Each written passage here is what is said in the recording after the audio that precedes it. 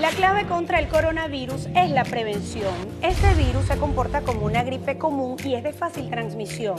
Por su tamaño no requiere el uso de mascarillas especiales. Te enseñaremos en tres sencillos pasos cómo fabricar tu tapaboca. Paso 1. Vamos a tomar la toalla y a estirarla.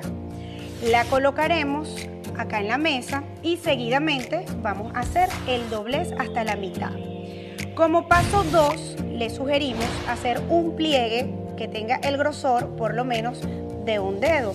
Esto va a permitir que cuando cortemos, esto procede al paso 3, podamos hacer este corte circular que será más sencillo al momento de colocarnos este tapaboca y quedaría de esta manera.